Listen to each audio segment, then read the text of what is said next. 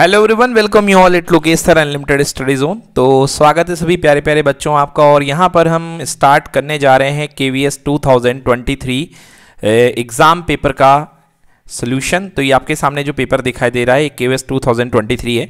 और यहाँ पर सबसे पहले हम स्टार्ट कर रहे हैं सब्जेक्ट इंग्लिश ओके तो देखेंगे इंग्लिश में किस तरीके के क्वेश्चन आए थे। तो इंग्लिश टोटल टेन मार्क्स का पूछा गया था और देखते हैं कि क्या है आंसर इंग्लिश के। सो so, ये मेरे पास एक स्टूडेंट का पेपर यहाँ पे उपलब्ध है और मैं आपको कराने वाला हूँ इसका सोल्यूशन तो पहला क्वेश्चन है rearrange the part of the part in correct order to make a meaningful sentence मतलब इसको हमको रीअरेंज करना है करेक्ट आंसर में। देखिए and broke its window pane threw stones at at it the urchins when the car passed by ठीक है ना? तो आपको इसको करेक्टली अरेंज करना है। तो क्या होगा? देखिए इसमें ऑप्शन में तो देखिए तो इसमें सबसे पहले क्या आएगा? When the car passed by the urchins ठीक है ना? तो सबसे पहले इसमें ऑप्शन में डी आ रहा है। तो डी केवल एक में ही है तो बाकी किसी को देखने की ज़रूरत नहीं है। आंसर इसका क्या हो जाएगा? When the car passed by the urchins threw the stones and broke the window pane तो लास्ट में and broke the window pane आएगा।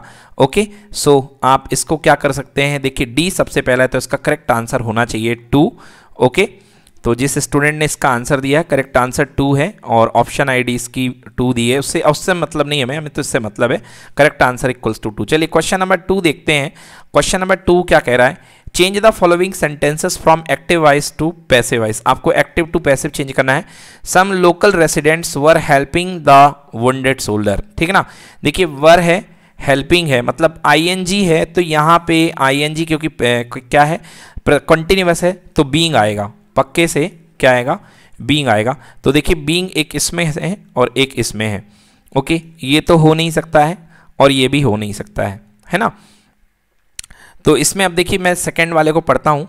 The wounded soldier was help sorry first वाले को। The local resident were being helped okay the local residents were being help by the wounded soldier okay the local resident were being help being help by the wounded soldier एक ये है the wounded soldier was being helped by some local resident अब देखो यहाँ पर तो इसका आ, यहाँ पे तो इसका मीनिंग ही बदल गया। मतलब यहाँ पे क्या किसकी हेल्प हो रही है? Local residents were being helped by the wounded soldier अरे भाई ये तो वुंडेड सोल्डर थोड़ा ना हेल्प कर रहे हैं। है ना? वुंडेड सोल्डर की हेल्प सोल्जर्स की हेल्प हुई है। तो करेक्ट आंसर इसका क्या होगा? थ्री होगा। तो आंसर भी इसका क्या है? थ्री है। चलिए देखिए नेक्स्ट क्वेश्चन देखते हैं। Fill in the blanks with the correct preposition they ran okay they ran तो दे रैन द थीफ तो क्या होता? है आफ्टर द थीफ होता है। तो इसका करेक्ट आंसर होगा टू ओके तो इसमें भी वन मार्क्स मिल गए हैं। इसमें भी वन मार्क्स दिए गए हैं, जो भी बंदा है। ओके और इसमें तो वन मार्क्स मिल गए। चलिए क्वेश्चन नंबर फोर पे चलते हैं इंग्लिश का। क्वेश्चन नंबर फोर देखते हैं। Choose the correct tense from the given option the this was the first time the mighty king had lost a battle okay तो देखिए, यहाँ पर आपका क्या है? Had lost okay had lost the a battle तो देखिए, यहाँ पर जो ऑप्शन है, क्या है? हैड लॉस्ट बोला गया है मतलब ये पास्ट परफेक्ट है। ओके? ये ऑप्शन क्या है? पास्ट परफेक्ट है। और इसमें यहाँ लगा दिया गया पास्ट कंटिन्यूस तो ये बिल्कुल गलत है। पास्ट कंटिन्यूस नहीं है। यहाँ पे हेड लॉस्ट है मतलब पास्ट परफेक्ट आंसर होगा। ठीक है? तो करेक्ट आंसर क्या होगा इसका? पास्ट परफेक्ट चलिए क्वेश्चन नंबर फाइव की तरफ़ चलते हैं। ओके क्वेश्चन नंबर फाइव देखिए क्या कह रहा है। Change the following sentence from direct speech to the indirect speech the young man said that young man said to his parents you will have to adjust to changing times you will have to adjust to the changing times okay तो इसका जो आपको बताना है, इसका आपको indirect speech बताना है। इसका आपको इनडायरेक्ट स्पीच बताना है। They that they would have to adjust to the changing times the young man told his parents the young man told his parents that okay okay? अब आपको पता है कि जो वो होता है इनडायरेक्ट स्पीच आता है वहाँ पे दैट आता है। तो पहले वाले पार्ट में आपके पास में ये क्वेश्चन नंबर कौन सा है? ये क्वेश्चन नंबर फाइव है। ओके okay, देखिए पहले वाले पार्ट में दैट कहीं आ ही नहीं रहा तो पहला तो हो नहीं सकता है ठीक है ना? फ़र्स्ट वाला पार्ट तो कहीं हो नहीं सकता है। सेकेंड वाले में देखिए दैट यहाँ पे है। थर्ड वाले में दैट यहाँ पे है फोर्थ वाले में दैट यहाँ पे मतलब आंसर जो है, इन तीनों में हमको बैठा हुआ है है ना? तो द यंग मैन सेड अब देखो सेड का क्या हो जाएगा टोल्ड हो जाएगा, ये बात तो सही है।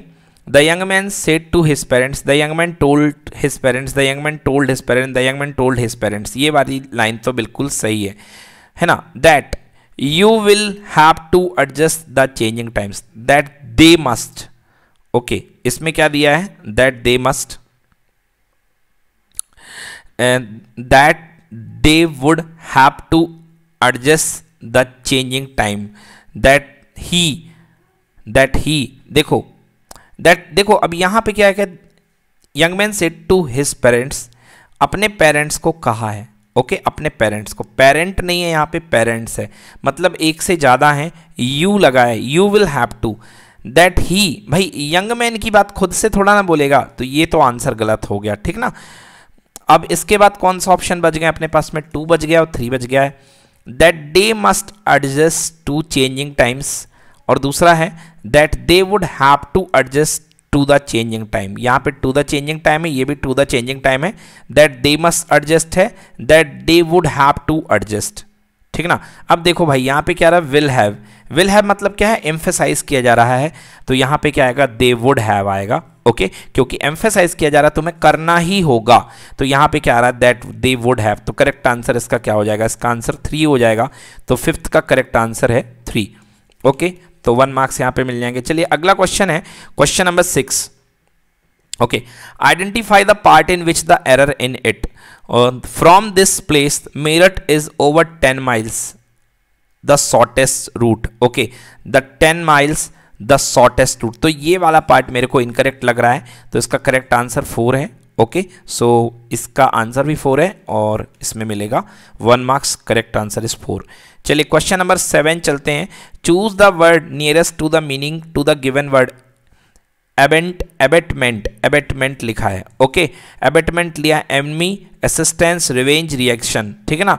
तो एबेटमेंट का करेक्ट आंसर है एबेटमेंट का मतलब होता है असिस्टेंस एबेटमेंट का मतलब क्या होता है? असिस्टेंस ठीक है ना?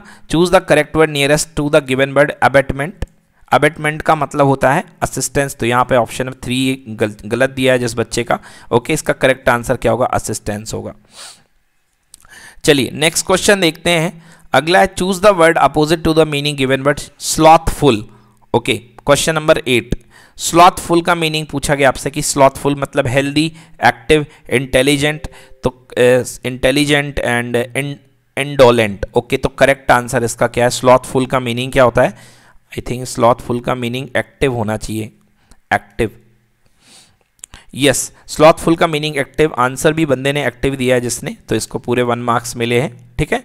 ये हो गया। अगला क्वेश्चन नंबर नाइन पे चलते हैं। क्वेश्चन नंबर नाइन देखिए। Identify the part of speech in the given word तो आपको दिया गया फास्टिंग फास्टिंग आपको पता करना है कि part of speech moderate fasting is good for health so testify the medical so testify the medical experts okay देखिए।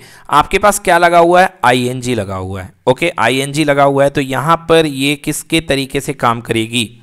बताना है आपको ये किस तरीके से काम करेगी। फास्टिंग है मॉडरेट फास्टिंग मतलब ठीक ठाक फास्टिंग ओके तो यहाँ पे जो फास्टिंग काम करेगी, ये काम करेगी नाउन के जैसे। किसके जैसे काम करेगी?